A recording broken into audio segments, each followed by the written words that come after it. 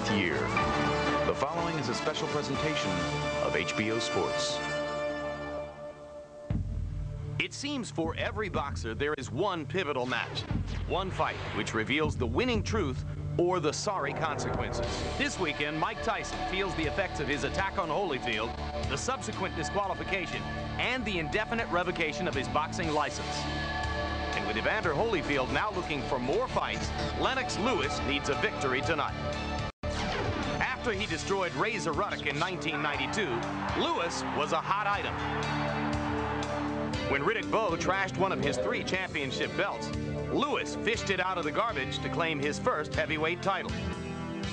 But in 1994, Lewis suffered his own consequences.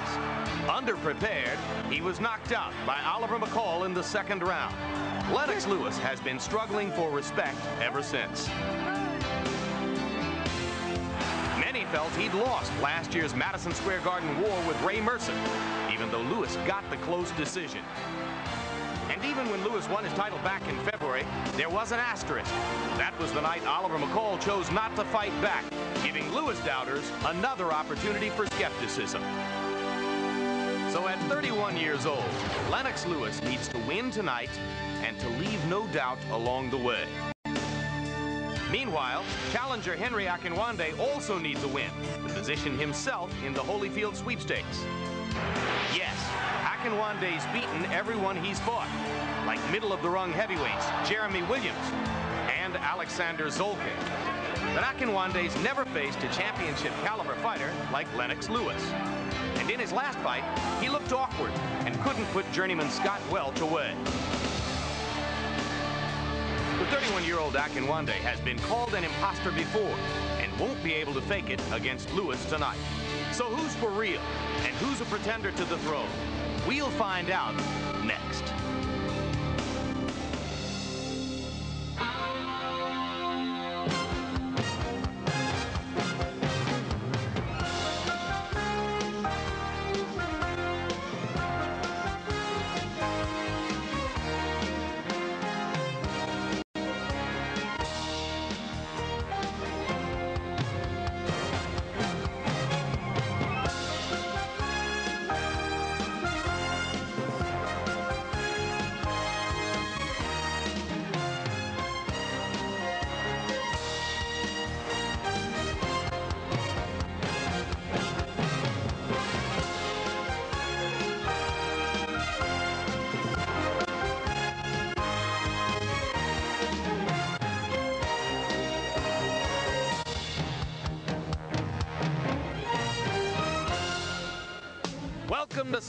Tahoe, a hot spot for water sports, skiing, gambling.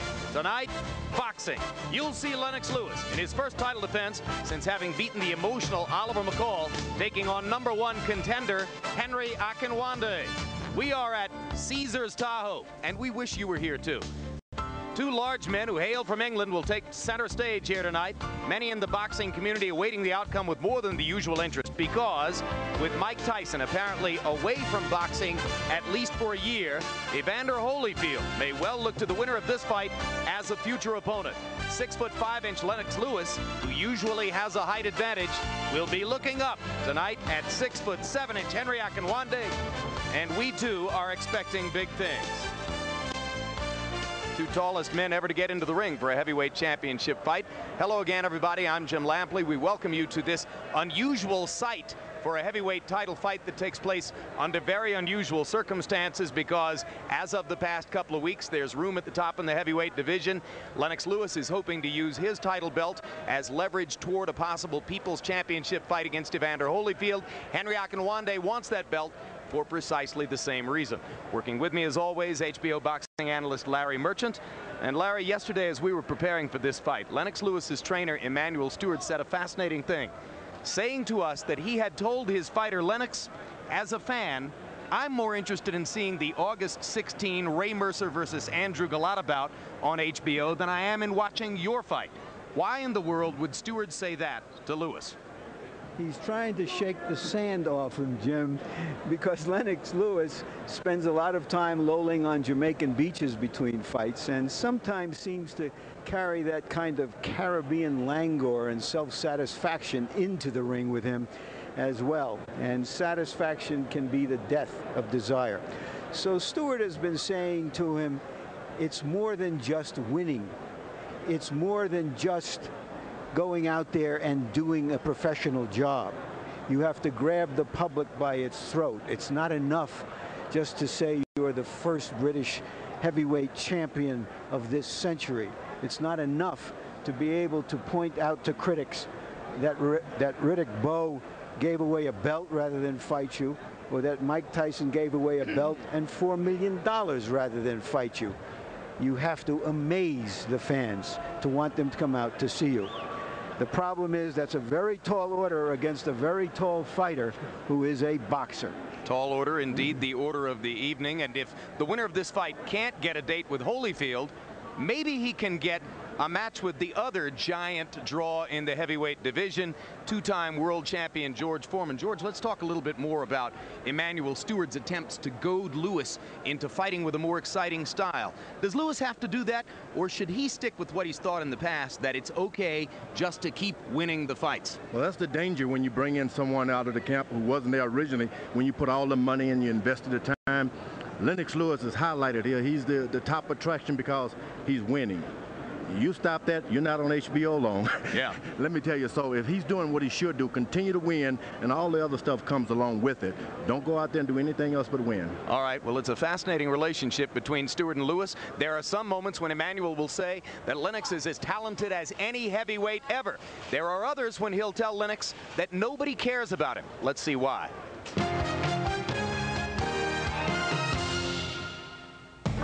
For Lennox Lewis, Judgment Day has arrived. Time has come for him to emerge from the shadows that have marked his bewildering career and come to terms with his split personality. Will we see the spectacular fighter who has proven he can dominate opponents? Right hand to the body. Ruddock in trouble. We have a great new heavyweight. Or will we see the brooding and reluctant Lewis, the one who has lacked that vital killer instinct? And now Lewis is hurt by the right hand. Lennox Lewis's career has been a roller coaster for a lot of different reasons. I think it's a lot to do with his mental makeup. He's too conservative and too intelligent and too analytical in the ring. It's like a chess game in a sense, and uh, it's a game where you have to use your strategy. And in some situations, he will become more aggressive, and then on another night, the real true Lennox would dominate, and he would become more conservative, even in situations when it's not even necessary. And that is what has stopped him from becoming the fighter that he is capable of being. So who is the fighter? And can he live up to all that promise and potential? For now, it seems, even when Lennox Lewis wins, he loses. As was the case in his rematch with Oliver McCall for the WBC Heavyweight Championship. Let's get it on! My main goal was just to go in there and get back my WBC belt. After I hit him with a combination, he kind of went dancing back he basically panicked. McCall is doing a very strange thing here, folks. He's wandering around the ring. He hasn't gone to his corner, and he's trying to figure out what's gone wrong. It's like an, an off switch went off in his head, and he just turned, and he went into a different person. This is a bizarre display. I personally have never seen anything like it. Started crying in the ring. He's crying in his corner. I've never seen anything like this. He's overwhelmed with some sort of emotion. I trained for a fight, but I never trained for this kind of uh, uh, situation that occurred. When it's placed Lennox Lewis in an awfully difficult and awkward position, Lewis doing what he has to do. Emanuel Steward actually told me, let's just go ahead and try to end it. You wonder how much longer Mills Lane will allow this to go on. Going to be it. With a whimper, not a bang, Lennox Lewis has just become the WBC World Heavyweight Champion for the second time in his career.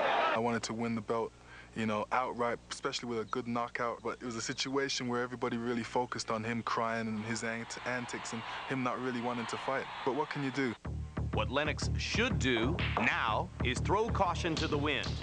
Is greatness still on the horizon? Only he can answer that question, and his reply must come tonight with a convincing win over Henry Akinwande. It's fair to call Lennox Lewis an enigma, but an extremely talented man. I recently had a conversation with Lennox where I explained to him that he's a good fighter and he will remain a good fighter maybe, but he will never become a great fighter unless he's willing to take uh, risks and that all great people take risks. And he has to, from here, go on and start being impressive. And being impressive in every fight, not just every other fight, but still the public, and that's what really counts. They don't respect and appreciate his talent, and justifiably so. Until he wins a major big fight, the public is not going to ever appreciate him. My day's going to come where I'm going to be in a fight where all of a sudden I'm going to go out there and look spectacular. Right now, you could say I'm just climbing a hill and soon to reach the top. So can Lewis ever again create the kind of excitement he created with his knockout of Razor Ruddock? That question hovers over this bout as it has over every Lennox Lewis bout for the past five years. Larry, let's turn our attention to the much less well-known subject of Henry Akinwande. If this fight had taken place a year and a half, two years ago, it would have been regarded as an enormous mismatch. Now it's seen as a potentially close fight. Just how big a threat is Akinwande to Lewis? Well, he might hug him to death, but but he really is a threat. The main reason is is that he is a live fighter. By that I mean that he exudes a certain kind of energy and ambition, like a racehorse that's just raring to run. Secondly, he's one of those fighters who they say of him, who needs him? As in, who needs him because he's so hard to beat? Or who needs him because even if you beat him, you can't look good? Or who needs him because even if you beat him, you're not going to get much credit for it or make a whole lot of money for it. Well, we have two fighters who might be classified in that category, and so maybe we'll have a who needs them kind of fight, or maybe we'll have a revelation. And Jim, this fight opened at almost three to one odds for Lewis all the late money coming in on Akinwande. It's down to seven to five. A lot of professionals I speak to like Akinwande. Well, and for the reason that a lot of people wonder what Lewis's style will do, will do for him against a taller fighter. A guy like Lennox Lewis goes his whole career, George Foreman, thinking that every opponent is going to be smaller.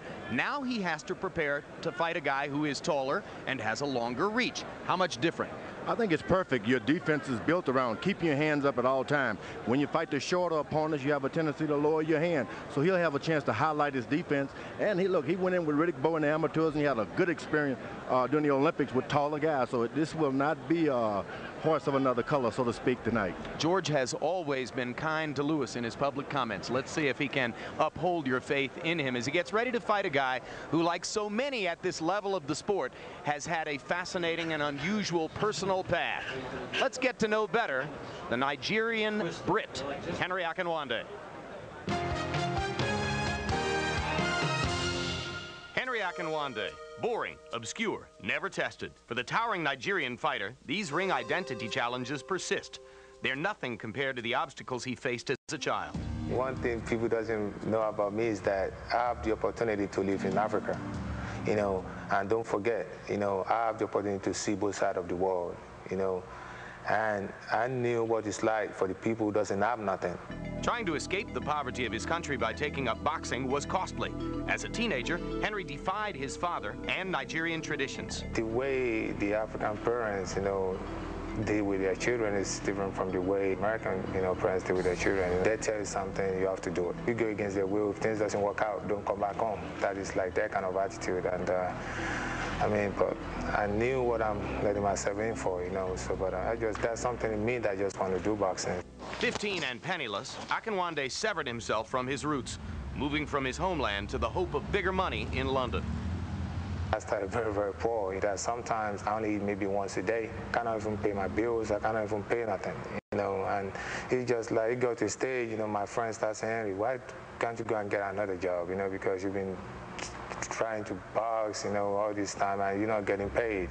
Far from home, Akinwande remained estranged from his father to the day he died. I don't have no father figure. My mom died when I was young, so most of the things that I've been doing, I've achieved so far, is just the God's will. But mere inspiration wasn't enough for the six foot seven inch European heavyweight. While in England, his perfect record of 27 victories gave him hope, but his mission stalled. British fans didn't care. His performances were dull. Everywhere I go, except England, people love watching me. If they don't go along with me, you know, it doesn't bother me at all. As long as the people who's paying my money, I mean, he's paying, he's paying for me to fight. Bigger money offers came from America, so Akinwande exiled himself from the UK three years ago. Trains in Houston, lives in Florida. Next, Akinwande adjusted his style by tapping Don Turner as the new trainer. Veteran teacher was last year's Trainer of the Year and guided Evander Holyfield to his victories over Mike Tyson. I'm more than determined to prove these people wrong, you know, so I can, I mean, I'll go through anything, you know, just to get, I mean, just to prove them wrong. And, you know, for, to have people like Don Turner, you know, it's just, I mean, it's just like, it's just like the last thing in the puzzle. You got to force him the opposite way. This way he's not used to going. Come on, let's go! Their first test together was against sometime contender Jeremy Williams. This guy is ready to go as soon as you hit him. The reborn fighter exploded with a more aggressive style and grabbed a fringe title. That is the proudest moment of my life because, I mean, I, I mean, when that thing happened, I mean, oh, I mean, I just went back to when I, the time that I started struggling, you know, and I went back to when those people in England started saying this and saying that. So the flack diminished and progress continued. Next challenge, Russian southpaw Alexander Zolkin. The Nigerian-born giant played master technician, showcasing Turner's favorite weapon. Do your thing. Come on. The most important punch in boxing is a jab. You got a guy with a good jab, he's going to be very hard to beat especially a big guy like him. Short guy got to work twice as hard to get to him, and then when he get to him, he gets hit more. Larry Holmes, Saoul Mamby, Chris Chiozzo, Mike McCallum. Henry got the fastest jab as a heavyweight. Despite improvements, the old credibility gap lingers, making Akinwande's passion his haven as well. I'm in peace, you know, with myself by doing boxing. That's something in me, you know, like just just keep saying don't quit, you know, and, and I'm glad I did not. Tonight, a lifetime of sacrifice yields for Akinwande his biggest opportunity. His elusive dream is within reach, but never more uncertain. Tail of the tape, and you are going to see two heavily muscled, well-conditioned heavyweights in the ring tonight. Lewis weighing in at 242, Akinwande 237 and a half. Four-inch reach advantage for Akinwande. They're the same age, and the time is now. Larry? Two points about these numbers, Jim. They emphasize the change in British heavyweights from horizontal jokes to vertical forces. And also there's that 242 by Lewis, nine pounds less than in his last fight against Oliver McCall. He is taking this occasion seriously. Punchstat numbers, Larry. Here we take a look at how active they are. Modestly active, throw about the same number of punches, land about the same number of punches, but they're going against the type of fighters neither of them has really faced before as professionals. Jabs, you can see Lewis is a little bit more active with his, but it's always been a pawing jab. He says he will make it a powerful jab this time. We'll see. Rules of the bout with our fight judge and pharmacist, Harold Lederman. The Lennox Lewis Henry Akinwande fight is scheduled for 12 rounds. There is no standing eight count, no three knockdown rule. Only the referee can stop the fight, and you can be saved by the bell in the 12th and final round only. Jim. All right, Harold, and now Henry Akinwande will enter the ring first. Apparently to the sounds of Peter Gabriel. About a decade ago, Jim, he was sweeping streets around Trafalgar Square in London, working for the city as a street sweeper. And here he is, trying to become the heavyweight champion.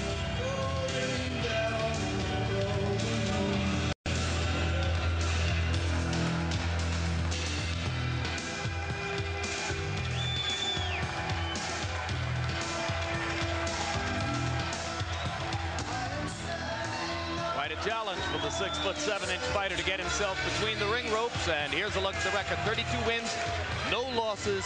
The one draw was against Franz, or check it, Axel Schulz. And 19 KOs for Akinwande, who did not used to be regarded as a heavy puncher. but has greatly improved his right hand in the past year under Don Turner.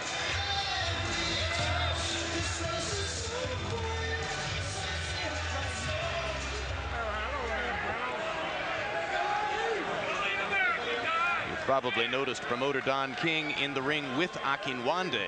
Should Akinwande win the title, then King will hold for the moment promotional control of all three of the major belt heavyweight titleists.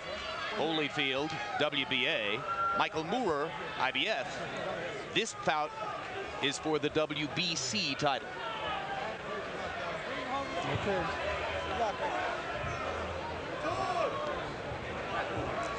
Little bit of a delay in Lennox Lewis's exit from his dressing room. They think they have an edge because Akinwande has never had a stay loose, stay big loose. occasion like this. Perhaps this is some gamesmanship going on. And you might have heard Don Turner telling Akinwande, stay loose, stay loose. For a big man, he is extremely well coordinated and has some very, very nice, well-schooled skills. And now here enters Lewis.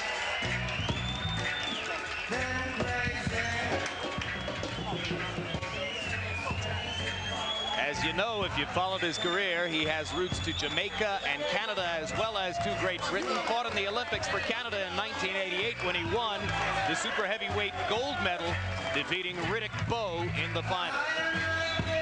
I think he must think of himself as a true Brit now because recently he had a reception with the Queen who noted acutely that he was tall and a reception at Parliament as well. Met with members of both houses of parliament. So now we get ready to learn, is he a lord of the ring or is he as common as cat litter? Soon to find out. 30 wins, the one loss to Oliver McCall was sort of avenged in McCall's walk around in February. 25 KOs for the hard punching Lennox Lewis. And now let's go to Michael Buffer for the official introductions. Ladies and gentlemen, main events and Caesars Tahoe, along with your undisputed, undefeated king of beers, Budweiser. This Bud's for you in association with Don King Productions present 12 rounds of boxing for the WBC Heavyweight Championship of the World. This bout is sanctioned by the Nevada State Athletic Commission. Chairman Dr. Elias Ghanem, Commissioners Nat Carasali, Luther Mack, Lorenzo Fertitta, and Dr. James Nave, Executive Director Marc Ratner, and the World Boxing Council President Jose Sulaiman, and WBC Supervisor at ringside John Morris. The officials assigned at ringside, physicians Dr. Joseph Heflin, Dr. James McLennan, and Dr. Craig Goodmanson. The timekeepers are John Rogers and Jim Carpenter, and the three judges assigned at ringside, scoring this bout on a 10-point must system will be Larry O'Connell, Dalby Shirley, and Terry Smith. And when the bell rings, the man in charge of the action, your referee working for the 97th time in a world title bout, Mills Lane. And now, ladies and gentlemen, from Caesars Tahoe, here at Lake Tahoe, Nevada, uh, let's get ready to rumble!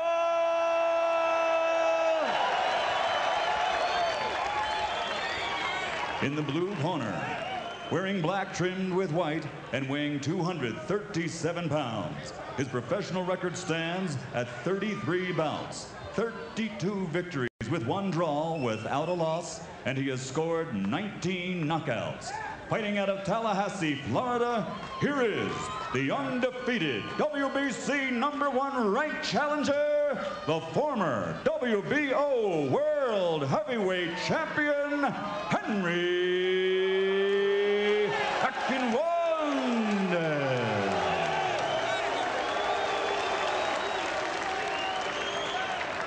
And across the ring in the red corner, wearing white and weighing 242 pounds. This 1988 Olympic gold medalist now has a professional record of 31 bouts. Victorious 30 times, 25 of those by knockout with only one defeat.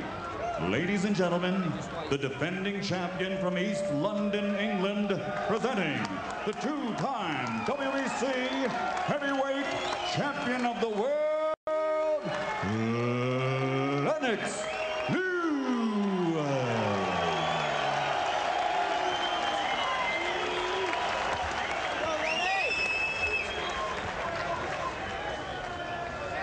Okay, gentlemen, uh, had the instruction. Manny, if he goes right here, I'm not going to call it low.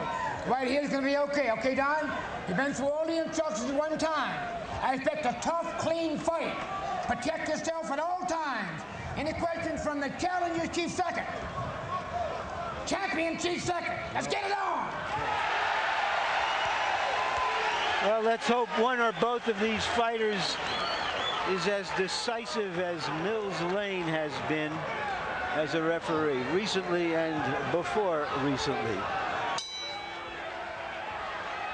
Round one begins. Should note here that it's a very small ring for big guys especially. About 17 and a half feet, which should favor Lewis, George. I think so. Once you get the ring closer, where the big guys, no matter how big they are, you got to throw punches at all times. There's no room to move around and look, especially when you have this kind of reach. Well, it'll certainly favor Lewis and his harder punching if he can be aggressive. And he's come out aggressively, initiating the exchanges with Akinwande in the first 30 seconds of the fight. And Mills Lane already with a conference about holding. But generally, these guys are accustomed to jabbing, feeling for a jab, and jabbing, but the ring is so small that after a jab, they bump into one another. Akinwande has been told by his trainer, Don Turner, to move forward as he throws the jab. Likewise, Emanuel Steward is trying to get Lennox Lewis to be much more aggressive, to throw a George Foreman or Sonny Liston style jab and drive his body through behind it. Lennox in the past has, has a, had a habit of doing what Larry Merchant calls fighting from the back seat, throwing the jab but leaning backward as he does. Lewis trying to assert himself here, and Akinwande has to put some hurt on him to, to drive him away. Let him go, let him go, Henry. Let him go. Otherwise, Lewis will just keep coming. Akinwande within the last 20 seconds beginning to release punches on his own. Before that, he was only fighting back as Lewis attacked. So now Akinwande will try to establish the jab, which is his key to winning the fight. Work, work out. Work Lennox hey, Lewis will have the advantage of the Let left go. Let him jab. go. Hey. Just got to forget about throwing a right hand and left hook and just stick with the left hand. First tackle of the fight. Come on, come on, come on. No, come here, come here.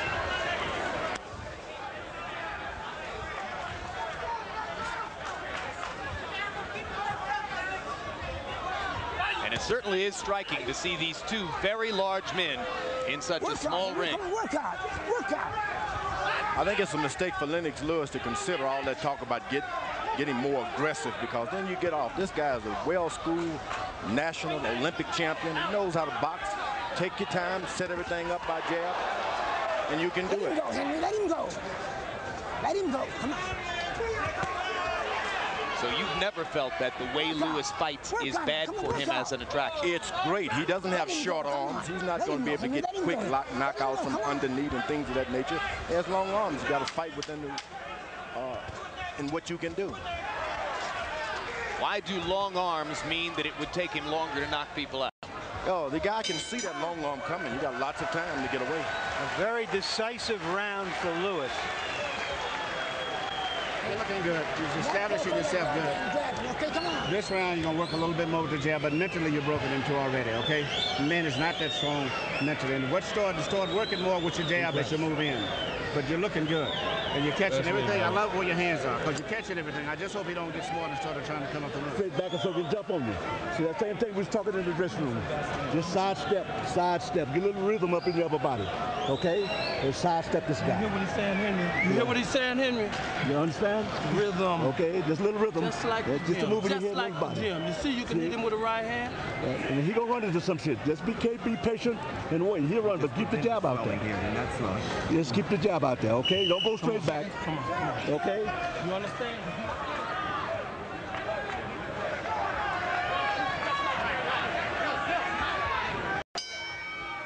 The box numbers show relatively low punch output Okay, for both on. fighters in round number one.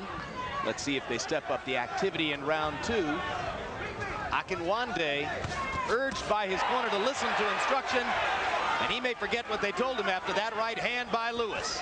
Good right hand, right on top, which is what Lennox Lewis has been doing his whole career. Power your jab, load up for a right hand like a baseball pitcher. He The does more throw the power right you- hand straight over the top, George. The more power you put into a left jab, you're not going to have anything for your right hand. You're going to have to take all the power off and power and power like he's been doing his career to get that right hand effective. Step back, Lennox. One step back, Henry. Come on. Let him go. So again, George going against what has been widespread opinion regarding Lewis. A lot of people complaining about the way he paused with his jab. George says that's the way for him to maintain the power in his right hand. That's One point off here. Now, One point off here. one point removed from Akinwande. He's, he's saying to Akinwande, you're here to fight, not to hug. There's another hug. Work out. Come on, work out. Work out. Come on, quit punching. Step back. Quit, step, quit punching. Step, step. Well, Lewis has been talking for days about how he expected Akinwande to wrap him in a bear hug, and Akinwande has proven true to form. Hey, hey, hey, back it off. Both of you. One step back. Come on. Let You see go. that referee, Step back. Come on. his lightweight, he'll wear out sooner or later pushing these big guys back. and that's what he's hoping, the big, tall guy. Benji, hold, hold. Let him go. Let him go. Let him go. It's time. You go here.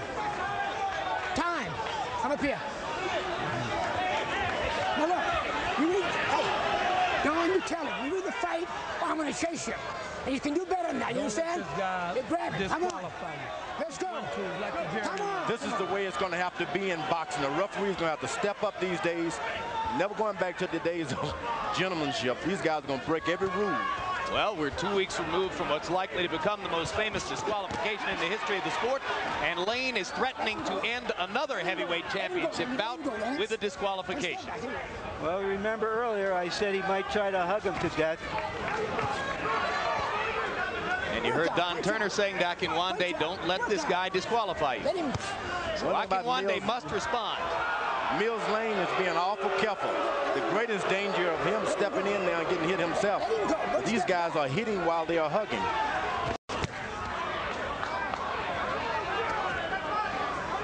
Work out. Come on, work out.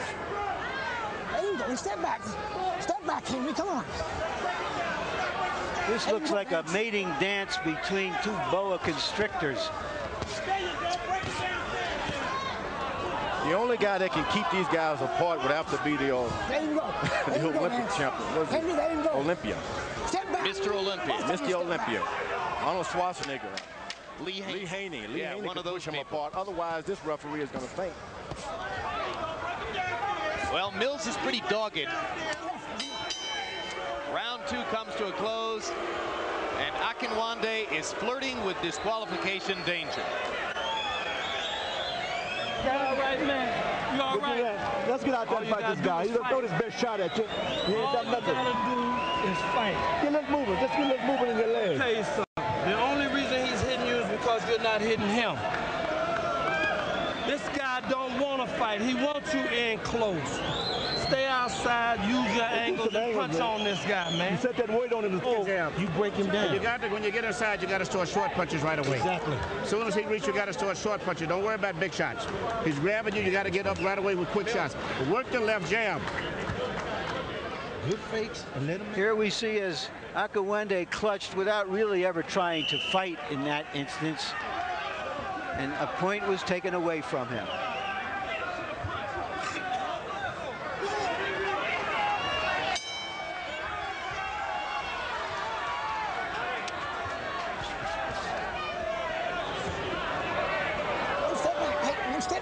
I Lennox Lewis should just kind of stay with it. Punch the guy, wait for him to hug. When he lets go, oh, punch him again, wait for him to hug. You know Why exert yourself? Hey, hey, hey. Look at me. Look. When I take a step back, you step back. Understand? Come on, come on.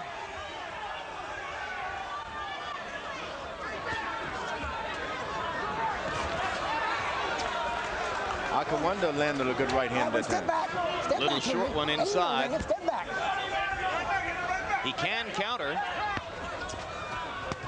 You heard Emanuel Steward saying, I hope the guy doesn't get smart and start throwing punches up the middle. And now Lewis backs Akinwande off again with a jab and a right hand. They both rely primarily on the one-two. Jab, right hand. Jab, right hand. Lewis flashed a good uppercut and a left hook in some of his recent fights. And there's an attempt at the right uppercut right there. Akinwande grabs and holds again. Every time Lewis lands a punch, Akinwande's instinct is to hold rather than punch back, George. And I think that Lewis should play right into it, hit him and stop exerting himself trying to push him away. 12 rounds of that can wear him out also. Good quick jab by Akinwande lands there. Lewis almost went down from a right hand as Akinwande was pushing on his shoulder. So now Lennox's balance seems to desert him a little bit. I thought it might have been a knockdown, Jim. It was a surprise quick right hand as he moved in. His knee may have grazed the canvas. It was close, that's for sure. But not ruled a knockdown, obviously. And now Akinwande is beginning to get into the fight if he can curb his instinct to hold. Let him go. One step back. Let me tell you, that holding when you're a heavyweight can drive you and burn you out. After a couple of rounds, you may even faint from pushing and shoving. Who gets tired or faster, the Lennox holder or Lewis, the holdee? because Yeah. Lennox Lewis is throwing all the power punches, so he's probably the one in danger of getting tired here. He's already has his mouth open. Work out. Come on. Punch out now. Come on, work out.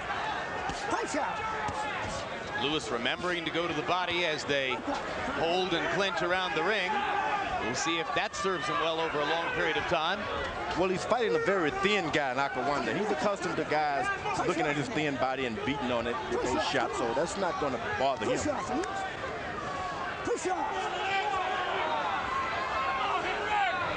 Nevada State Athletic Commission Commission officials sitting at ringside and no doubt hoping against hope that they don't see another disqualification in a heavyweight title fight in their state. Lewis goes to the body and effectively so Effectively so, you're right. as round three comes to a close.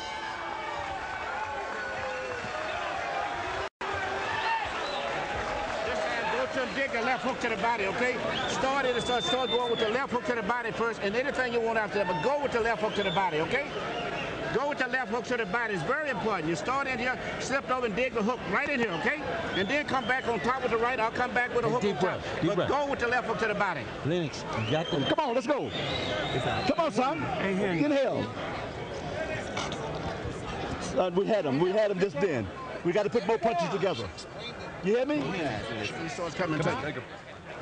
Let's see if we can find out if that was a knockdown or a pushdown or it really wasn't a knockdown. It was just the, the, the pressure of the body that pushed him down, it seemed, but it could have been. I mean, I don't know what that is, George. What is it? Oh, it's right on top of the head. And those kind, when you're not accustomed to being hit there, hit there because you're taller, they have some effect on you. In round three, CompuBox numbers give Lewis credit for landing 21 punches, many of them body shots.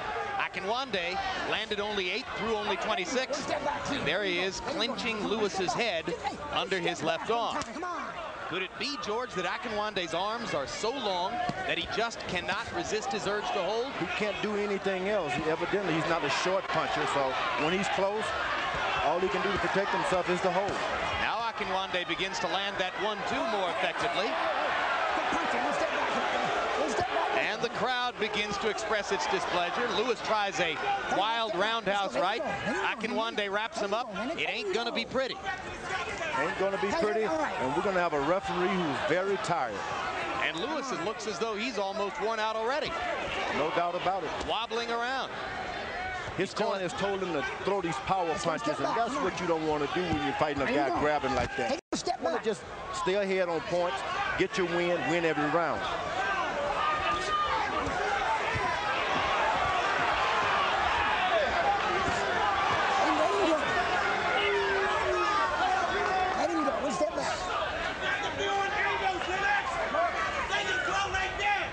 Lewis still doing an effective job of ducking and slipping.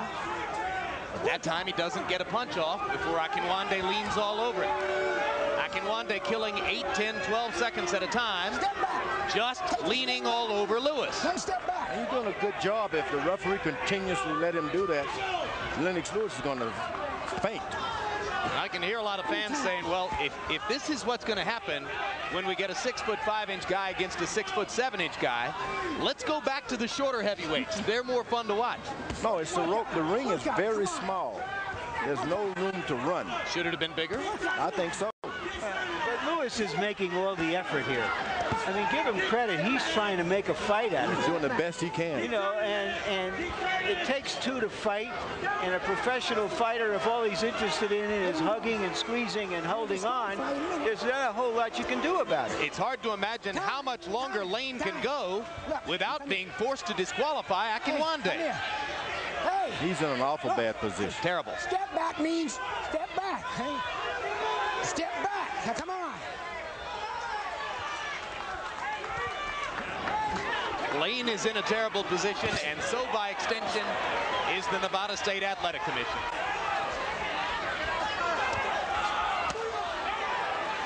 The body punches by Lewis are the most effective right now. Well, he's winning every round, George. I mean, wouldn't you assume that Lewis has won the first three rounds? No doubt about it, but he's also playing in the part of the old bull when the Matador is sticking that thing over his neck, and he's being held like that. Eventually, things have to happen bad to you.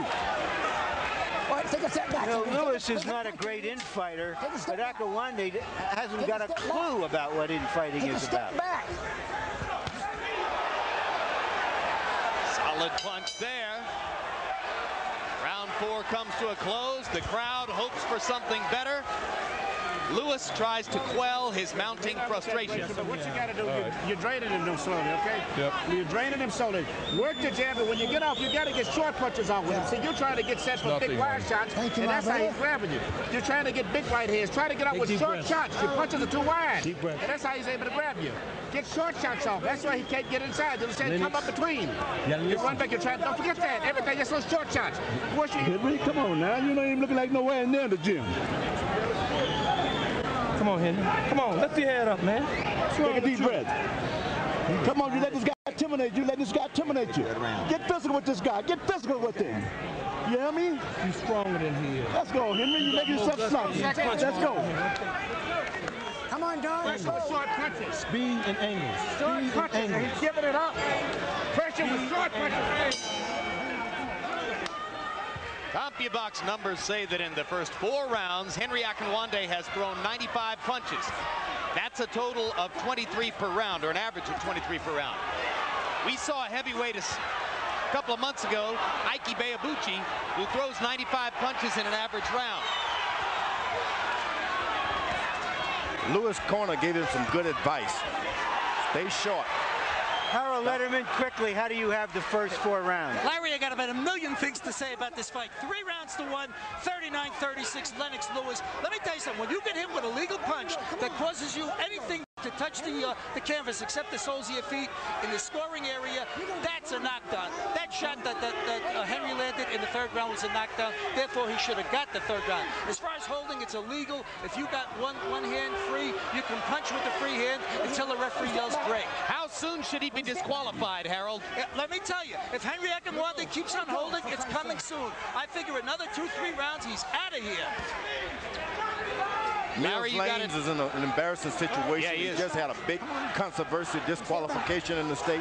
He just don't want to that quick. Look, he looks like an Oreo cookie there, mixed in between those two big guys. Oh, Mills Lane is earning his money these days.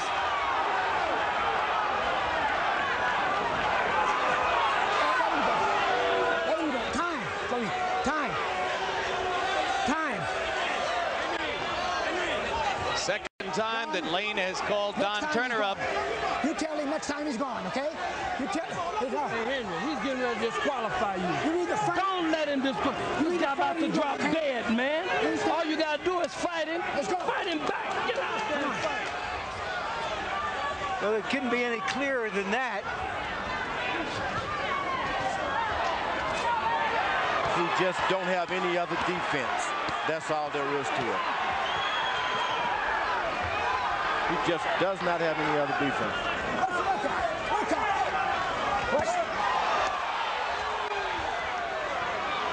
Let him go, Henry. Let him go. Let him go.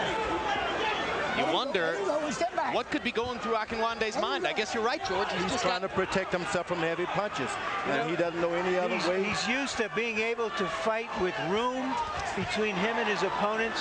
He's been able to dictate that, and Lewis is not letting him dictate the geometry of the fight.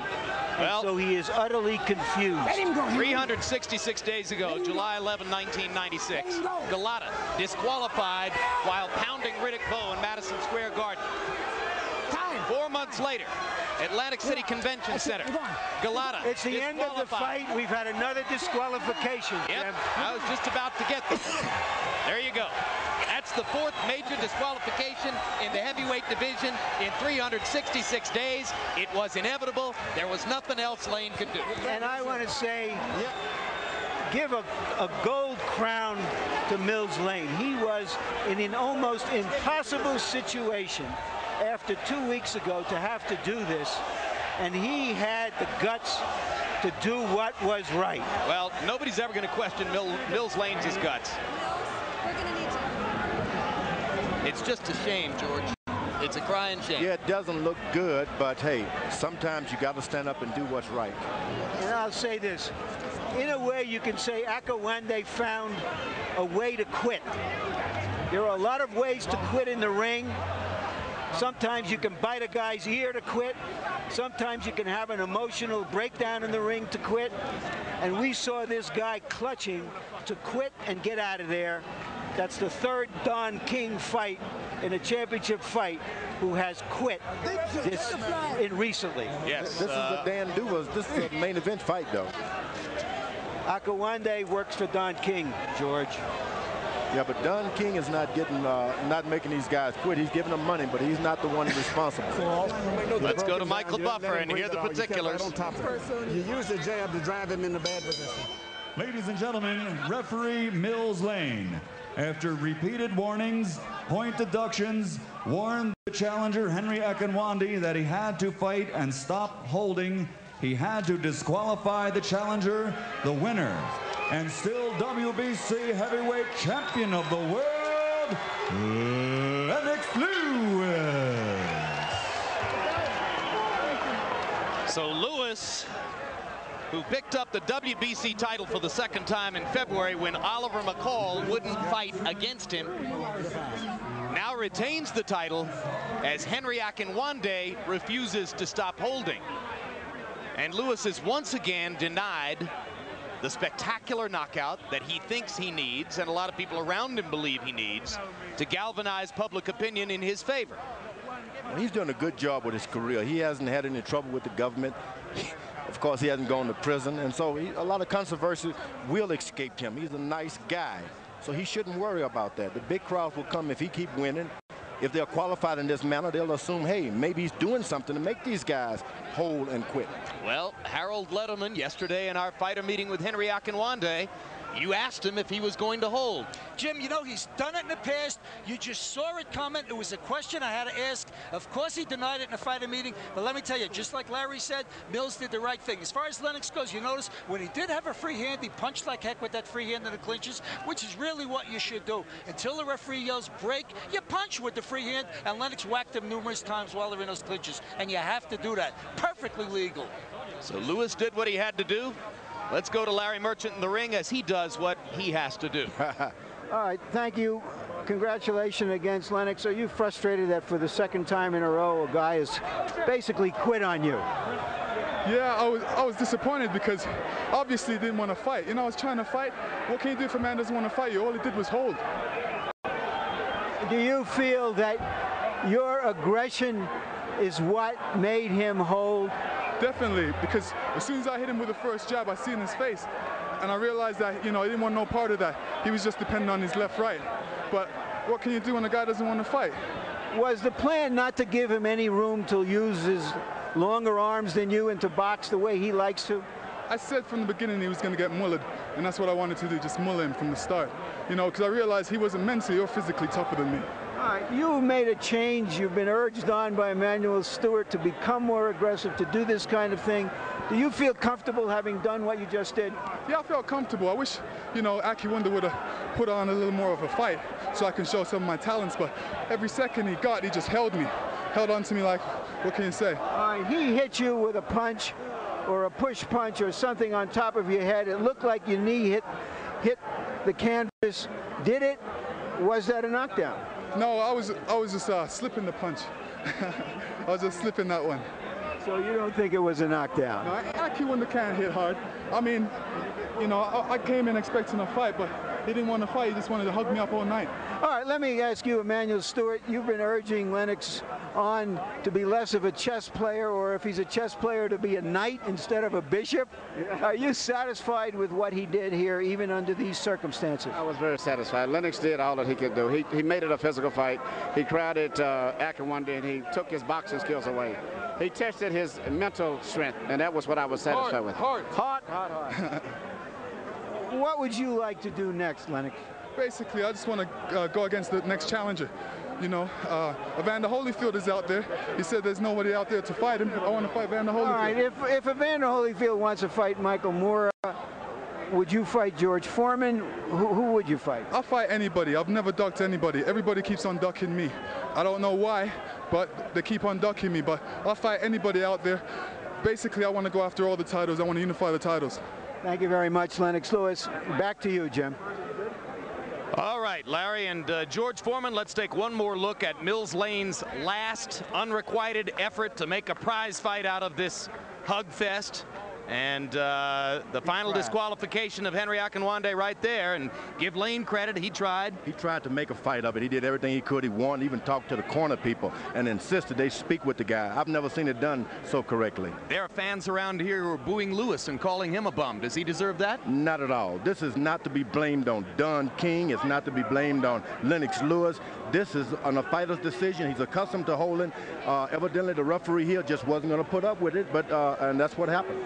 The Nevada State Athletic Commission, as of a brand new piece of legislation in the past few days, would have the power, if they want to, to withhold Henry Akinwande's entire purse. Should they do it? Not at all. This guy did not know how to protect himself. The only way he knew how to keep this guy off of him was to hold. He didn't know any classic defense like you've seen the cover up and the, the rolls and Archie Moore's. He didn't have anything but holding. All right, let's see what Akinwande has to say about it. He's with Larry. All right, Henry Akinwande, tell us what you thought went on there.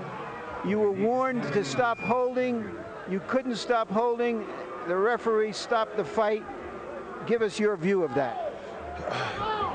I didn't think um, most of the holding is um, is my fault because uh, we are we both uh, tried to go forward, and uh, I mean he's tall and I'm tall, you know, so there's no. I mean we don't we can I can find a way to walk inside, and I started to get close to him, and uh, by the time I realized it, the referee was um start wanting me, you know, that I start I mean I should stop holding, because I mean the referee said I mean sometimes step, I mean step I mean step backward. I try to make a step backward, but he's not making any step. All right, so that would you say that he didn't give you any room to box, and that's what caused the, these wrestling matches? Uh, I think uh, that is part of it. You know, but uh, right now, I don't have anything to say. Um, you must be very, very disappointed after trying so hard for so long to get here. Um, I'm very disappointed, you know, but um, I'll come back again. Thank you very much, Henry.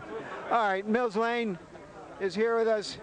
Mills, this must have been an extraordinarily difficult task for you after what happened two weeks ago to have to stop another championship fight. Yeah, it is. It, it, it, Larry, it's the worst thing. A DQ is the worst thing. But there's, there's certain protocol. And once you get outside of it, I mean, there's nothing else you can do. You warned them early about all of the clutching, and you saw that Akinwande was the main culprit, correct? Yes, sir. Yes, sir. He wouldn't even step back. I finally said, this is what stepping back is. This is what you do when you step back.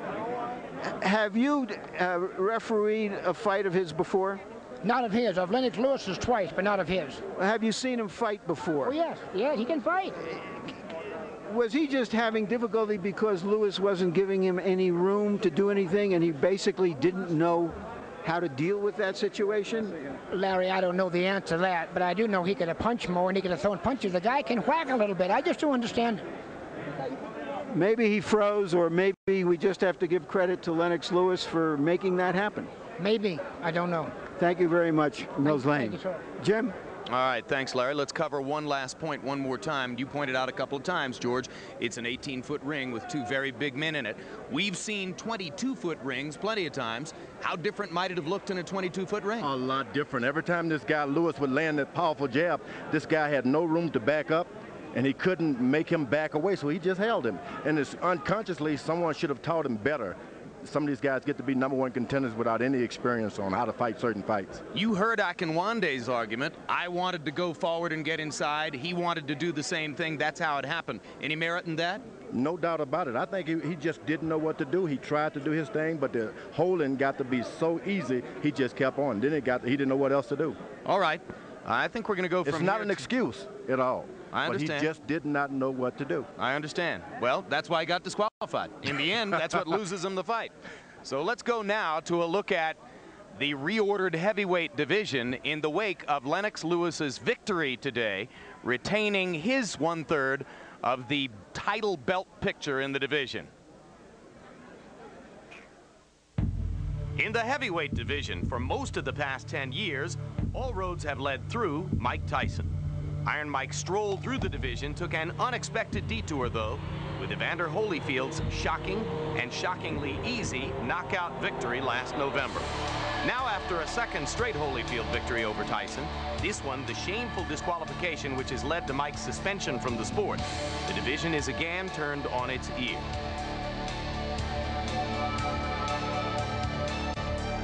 Now Evander Holyfield stands alone atop a crazy quilt heavyweight heap, and he must decide whether it's title belts or record purses he's after, as the two goals may follow divergent paths.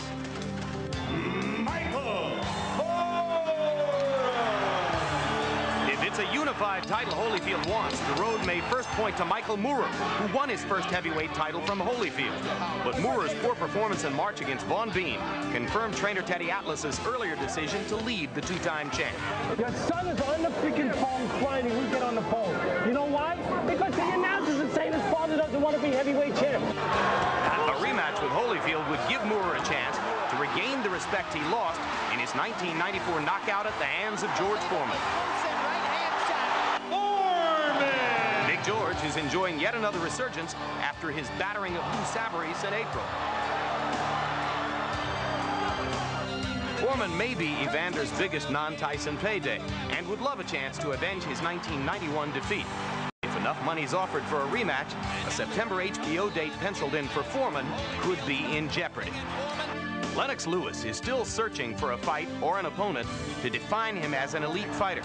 Lewis will be hoping for his own unification bout with Holyfield, who could bring Lennox the acclaim he feels he deserves. Get that sense. Now goes Morrison again. So too could a fight with Andrew Golota, who faces Ray Mercer August 16. Golota, who burst on the scene with his two wild disqualification losses to Riddick Bowe, may be the most dangerous heavyweight in the world. But can he fight within the rules? Andrew Golota has little margin for error if he's to realize his championship potential.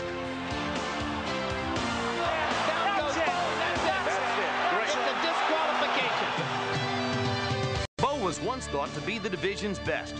Now, two physical beatings and an aborted attempt at becoming a Marine later, Riddick has, at least for now, settled into early retirement at age 29. So in the past year, the heavyweight division has given more black eyes to the sport than its combatants have given to each other. And as the division's best readjust their sights on Holyfield, boxing's image itself continues to cry out for help. And we mentioned to you during the fight how excruciating this must have been for the Nevada State Athletic Commission in a heavyweight division in which fiascos and disqualifications in title fights seem to have become the norm rather than the exception. Standing by now, the executive director of that commission, Mr. Marc Ratner, is our Larry Merchant. All right, thank you, Jim. Mark, second time in two weeks, you try to regulate boxing, you try to help promote boxing. What are your thoughts about it, both in your official and unofficial capacities? Uh, I'm actually almost tearful right now. I, I love the sport so much. Uh, I can't believe we had a problem today. I, I thought today would be an another good day, and, and it's not. Uh, the commission will hold its purse. We will have a hearing. It sounds familiar, but we're going to go through the same process. All right, but there's something else in play now, which is that since the Tyson Holyfield fight, the state of Nevada has passed a law that states they can withhold the entire purse from a disqualified fighter. Is that possible here? Uh, that law was passed uh, and signed uh, yesterday morning at 9 o'clock uh, from now on, and uh, certainly that'll be an option of the commission. Or to impose a higher than, say, 10% penalty, which was the rule in the past. That is correct. So uh, this gives the commission another way to go, another option. What are you hearing about this kind of potential draconian rule of taking away an entire purse from a fighter who doesn't live up to his contract to come here and fight? Well, the state of Nevada, we, we want good fights, and uh, we're hoping that this law will uh, prevent some of these things, that the fighters will think twice. And I'm the most shocked guy in the world today.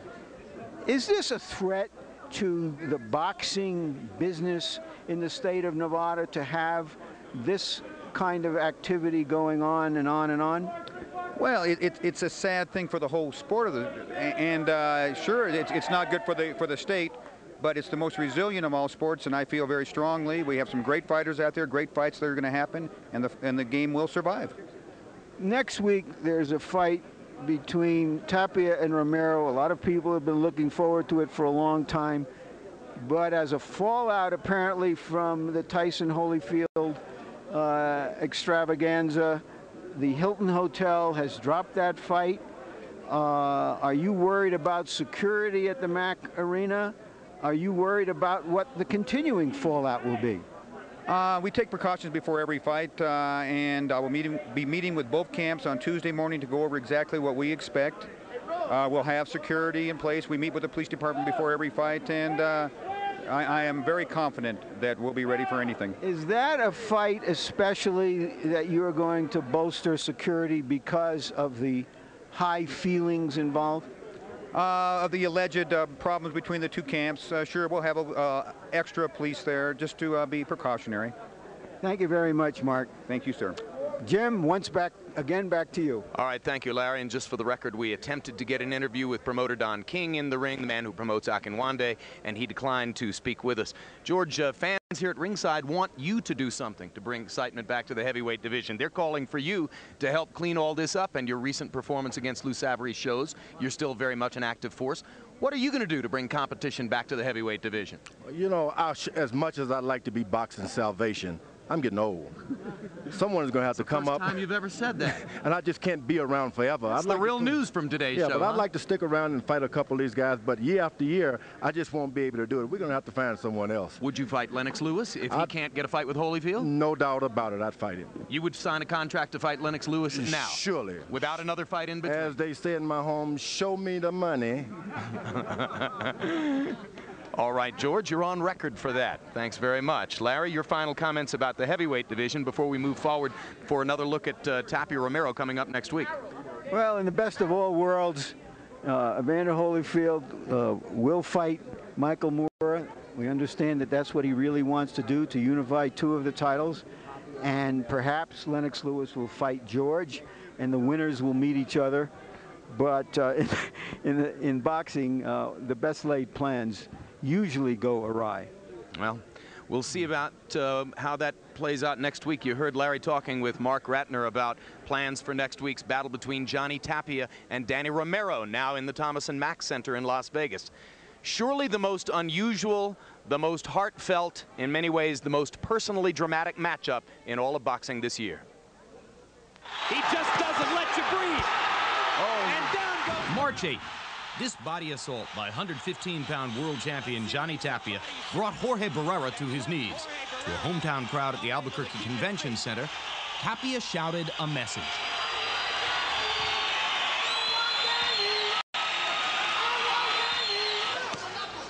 Moments later, Danny Romero answered Tapia's challenge with a knockout of his own, paving the way for these two junior bantamweight champions to settle an Albuquerque turf war that's been brewing since they were boys. I got to dispose of a little, uh, a little gnat that has been all over me, so it's time to get get rid of it. Talk of a Tapia Romero fight stretches as far back as 1990 in the town where the two fighters who, as boys trained in the same gym, grew into men with very different lives. They came to represent opposite sides of their community's experience. In October 1990, undefeated Johnny Tapia was overtaken by his drug addiction, beginning a three and a half year absence from the ring, during which drug overdoses nearly took his life. He needed to make the decision that he was going to quit to save his life and to save his marriage and to move on with his future. Because if he wouldn't have, he would have been dead. Danny Romero has faced no such difficulties. A thoughtful 23 year old, painstakingly nurtured and molded by his father to be a championship fighter and a model citizen, Romero has steered away from the street scourges that snared Tapia and so many others. You know, I always had uh, one love, and that was boxing. And I knew what could take me away from that drugs, gangs, and, and, and things in that, in that nature.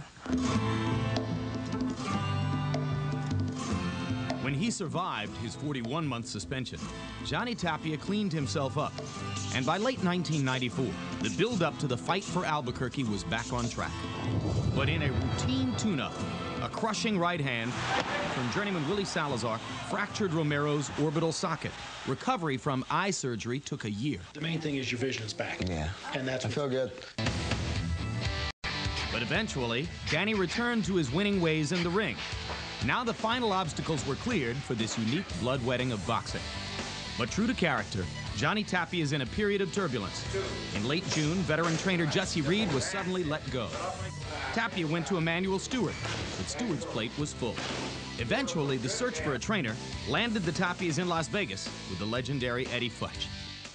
So for Johnny Tapia, his crazy life continues, even in the hours leading up to the defining fight of his career. While in natural contrast, Danny Romero trains quietly and systematically with his father. Conventional wisdom says that's an advantage for Romero. But among all the things Johnny Tapia has lost and found in his unenviable tough trip through life, the one thing he's never lost is a prize fight. So there it is, George. They've known each other for years. They've looked forward to this occasion for years. Most people seem to think that means we'll see a great fight. Will no we? doubt about it. It's those kind of fighters who've truly made boxing fans. If they this fight can really restore boxing to its grandeur, no All doubt right. about it. It can be a dramatic and glorious occasion. Let's hope it comes off incident-free. What's your instinct about what we're going to see next Friday night?